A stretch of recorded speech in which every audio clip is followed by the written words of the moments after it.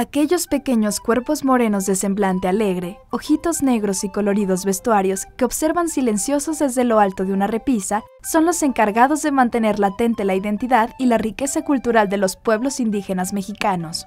Los simpáticos muñecos de trapo Aluxin, a través de diversos personajes, muestran la cultura del pueblo maya.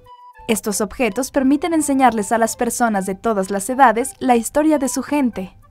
Entre los personajes más emblemáticos se encuentran la chamana, el guerrero jaguar, la muñequita y el jugador de pelota.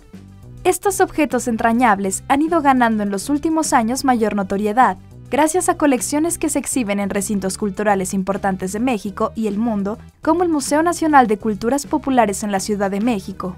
En una pieza puedes observar e interpretar muchas de las costumbres que se han ido transmitiendo de generación en generación, lo que nos hace conocer nuestra historia con información de Ashley Espinosa e imágenes de Alejandra Rodríguez, enviadas Notimex.